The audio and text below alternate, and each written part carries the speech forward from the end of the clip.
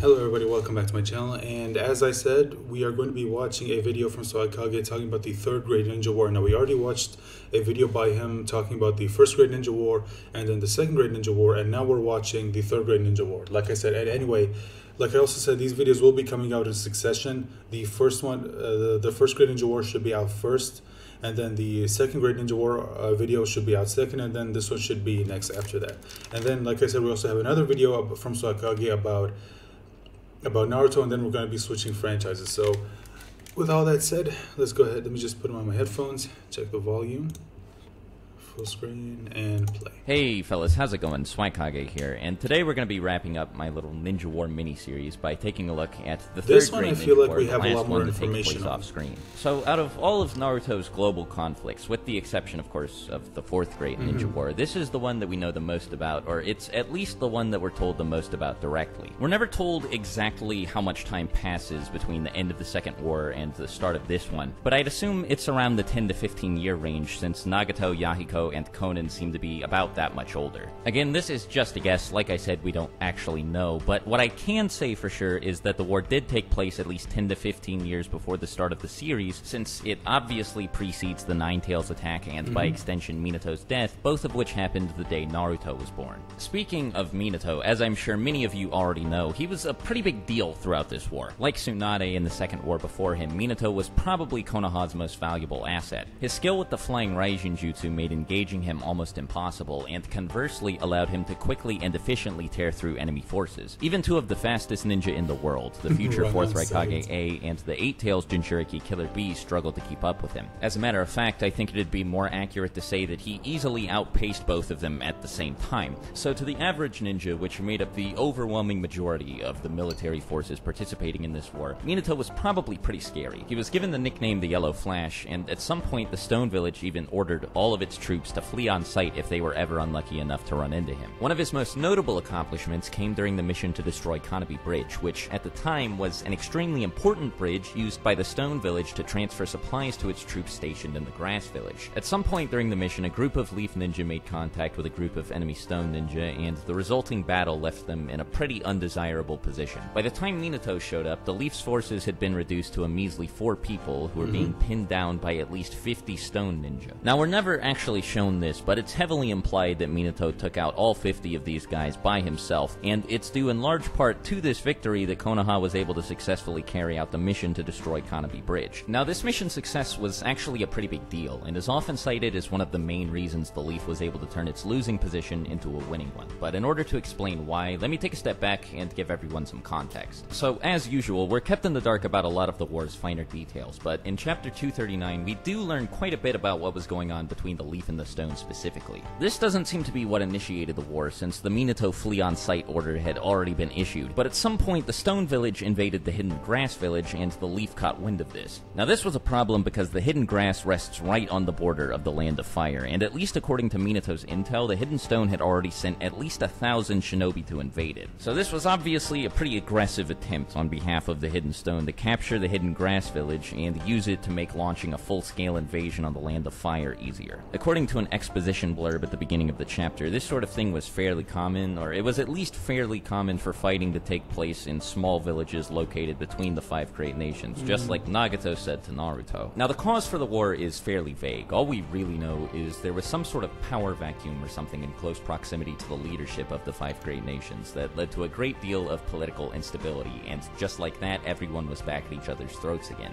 This initially led to a bunch of fighting near but not actually inside national borders, which of course eventually and inevitably ended up involving a bunch of small villages located near these borders. The Leaf and Stone fighting across the Hidden Grass Village is the only example of this that we know of, but it's bound to have happened elsewhere since all five shinobi countries took part in this war. Anyway, the reason the destruction of Kannabi Bridge was so important is because without it, the Stone Village troops stationed in the Grass Village effectively had their access to their village's resources cut off completely. This obviously would have forced them to retreat back to the Land of Earth, which by extension would have made invading the Land of Fire significantly more difficult. Now, it is worth clarifying that Minato himself didn't destroy Kannabi Bridge. Kakashi, Obito, and Rin were tasked with this, while Minato engaged the Stone Village on the front lines. On the team's way to the bridge, Rin was captured, and when the other mm-hmm. two tried to rescue her, a battle ensued where Obito was thought to have died. It was also at this point that Kakashi received his Sharingan, which he seems to have put to pretty good use since later on in the war he earned the nickname the Copy Ninja. Now, while these Kakashi Gaiden chapters do give us a pretty in-depth look at the war, at least from one angle, we never really get to revisit it with the same level of detail. Most of the other stuff we know about the war comes from very brief flashbacks or short exposition snippets. We do get a follow-up to these chapters later on when Toby's identity is revealed, but focuses a lot more on Obito's interactions with Madara than on the war going on outside the cave. Fortunately, we are shown something pretty major during this flashback mm, series, Rin's death, which is tragically at the hands of Kakashi. Now, since we've all already seen this, I don't think I really need to go over it, but I would like to focus on a lot of the background details here. So first of all, Kakashi and Rin were fighting ninja from the Mist Village, and since we already confirmed that both the Stone and the Cloud villages took part in this war, this is the fourth of the five great nations that we've been able to identify as an active participant. Now, what's a lot more interesting than the Mist's involvement is what they were planning to do here. As I'm sure many of you remember, Kakashi only killed Rin because she asked him to, and this was because she'd recently been turned into the Three Tails Jinchuriki by the Mist Village, and they were going to pretend to pursue Kakashi and Rin all the way back to the Land of Fire, and then as soon as she set foot into the Leaf Village, bam, they were going to release the Three Tails and wipe Konoha out without even having to launch an invasion. Now, obviously, this tells us a little bit more about just how depraved the Mist Village used to be, but it also lets us infer which Mizukage was in power at this point. In my video about the First Great Ninja War, I explained that the deathmatch between the second Mizukage and the second Tsuchikage must have taken place during the First War, since the first person that Mu assumes revived him is Tobirama, who also died during the same war. We also mm-hmm. know that the fourth Mizukage Yagura was the Jinchuriki of the Three Tails, and while we're never told exactly how long it takes Biju to reincarnate after they're killed, since the Raikage was willing to kill Naruto to put the fourth war on hold for a while, I'd imagine that it's at least a little while. Yagura was also pretty infamous for being a tyrant, but we later find out that this was only because he was being controlled by Obito. At this point, though, Obito had only just left the cave where Madara fixed him up, so I think it's pretty safe to say that Yagura didn't become Mizukage until much later. This should mean that the person in charge of the Mist Village throughout this war was the third Mizukage, but aside from his title, I can't really tell you anything about the guy. We don't know anything. We, we, don't- we don't even know his name. Fun coincidence, actually, the third Kage of every village should have been in power when this war started. We know pretty much beyond a shadow of a doubt that Hiruzen and Onoki led the Leaf and Stone villages at this point, respectively, and it's stated that the third Raikage died during this war as well. And since I just explained why the third Mizukage should have been in charge of the Mist, that just leaves the Sand Village. So we know that Sasori actually participated in the Third Great Ninja War, and that's where he got the title Sasori of the Red Sand. The story behind the nickname is actually pretty simple. It's not Who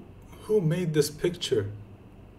Cause that um that looks you know let's just move not on. because of Sasori's red hair or because he was raised in a place with naturally red sand. He just killed a lot of people throughout this war, and their blood tended to get all over the place. Anyway, at some point after his service, he defected from the Sand Village, and it was after this that he killed the third Kazekage. I think it's also worth mentioning that Chiyo lays out a very clear passage of time between when Sasori defected from the Sand Village and when the third Kazekage disappeared, so I'm pretty comfortable saying that this guy was running things while the Third War was going on. As for everything else that happened during this war, at least the stuff we know, it's either minor or only tangentially related to the war. We do know, according to one of the Itachi light novels, that a ceasefire agreement between the Leaf and Stone villages was enough to bring the war to an end, and we also know that since Hiruzen didn't seek reparations from any of the other participants after the war's conclusion, he ended up making a lot of residents of the Land of Fire really mad, and so in order to appease everybody, he stepped down as Hokage and gave the job to Minato. Now, this, the act of making Minato Hokage, caused a lot of internal village drama, specifically between the Uchiha clan and the village's administration, but I'll save that for another video sometime in the future. Now, real quick before I get out of here, uh, if you'd be so kind as to spare me a little bit more of your time, I'd like to plug a personal project of mine. Some of you may remember the last time I attempted to do something like this, but uh, recently I have been working on publishing a webcomic. Currently, only two Chapters are out. Production has been pretty slow, but I'm pretty proud of both of them. I think they're both fantastic. Due in large part to my incredible artist, a guy called Jacob Noble. I'll leave a link to his Instagram in the description. But the main reason I haven't been able to crank out chapters as quickly as I'd like to is because of the lack of a financial incentive for my artist. Now, don't get me wrong, he's super invested in the project, but it's one of those things where, like, I can't expect him to work full time without Yeah. a full time salary, and I've been doing my best to pay him what I can. But since I'm only one person and the webcomic isn't making any money. That's a little bit easier said than done. Now, uh, a week or so ago, I started up a Patreon page. So if you're interested at all in the webcomic, you can just check it out for free. You don't have to give the Patreon a second thought. But if you do like it enough that you want to support it and speed up production, I'm going to leave a link to the Patreon in the description as well. Don't feel pressured to. I just figured I'd mention it. Anyway, as always, thanks for watching. Take care.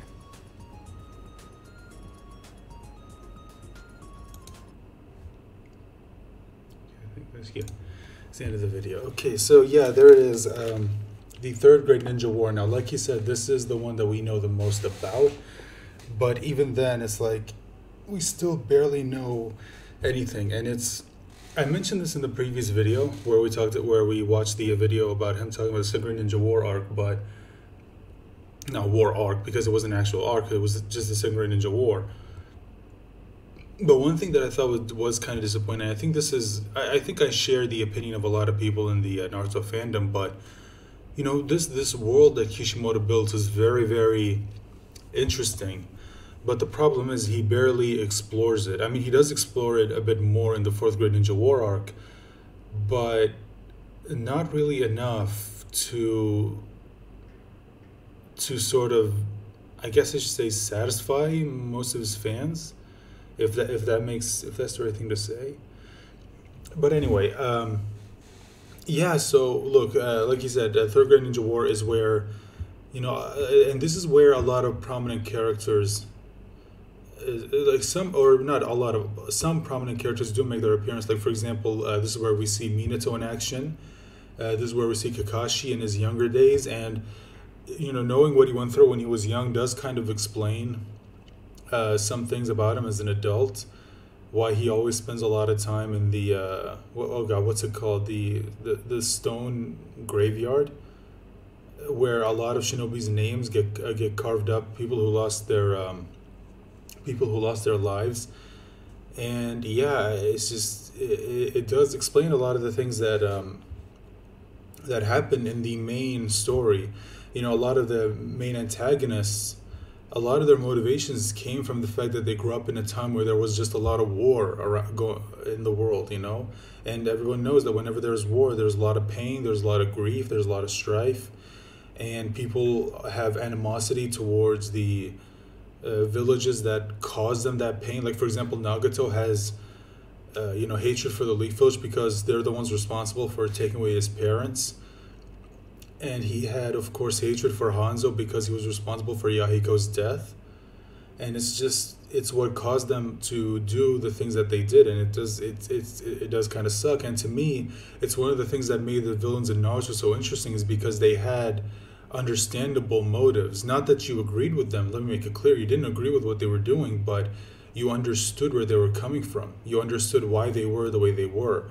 And for me the reason why and, and I know I've brought this up in a lot of other videos, but the reason for me why Boruto just hasn't been compelling at all, and this is of course nothing against people who do enjoy it. I'm happy you enjoy it. More power to you. But for me, one of the reasons why Boruto just just feels so underwhelming is that the villains that they're going up against are just like they're they're they're boring. You you you, you can't really understand their motives at all. Well, you you can in a way, but not to the extent that you did the villains of uh, Naruto. Uh, like for example, uh, just to get again, this is just an example, but you know, a lot of people praise Ishiki, but for me, other than his power, what exactly is it about him that was so compelling?